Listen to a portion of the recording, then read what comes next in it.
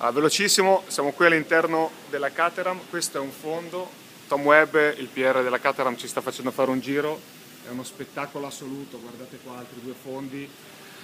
Io amo la Formula 1 per tutto quello che è, ma soprattutto perché quando ho la possibilità di vedere cose di questo tipo io vado fuori di testa.